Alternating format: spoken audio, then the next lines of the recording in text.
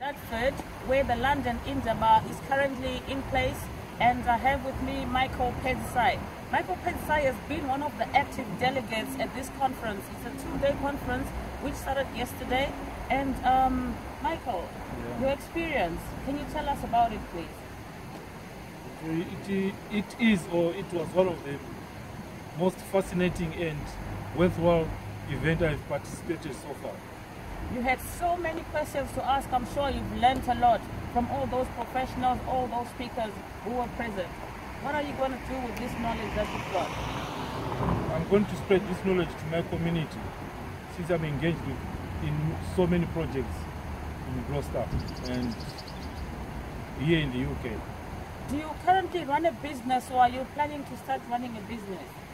Uh, we have got a cooperative which involves all Africans and um, I'm going to impart this knowledge to other members of the cooperative. What about business? Are you going to be launching your own business soon? Because I'm sure you've managed to collect a lot of information about business, how to run it, financing, branding, marketing. Yeah, we, we have a family business. It's called Africa Unite.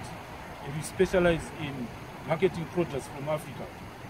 There may be a lot of people who did not know that this event was taking place and because of that they might have missed out. So to all those people who've missed out or would like to come to the next event, what do you think they stand to benefit? Uh, most importantly, networking.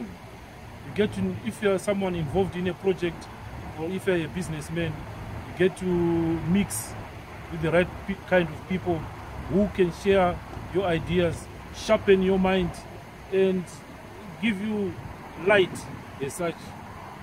Michael Pedzisayi, thank you so much for joining us at News of the South and we hope you enjoy the rest of the conference.